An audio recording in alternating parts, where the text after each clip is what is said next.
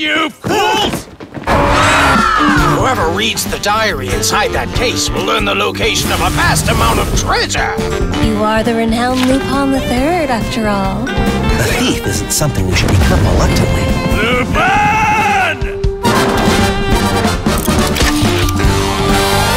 Catch me!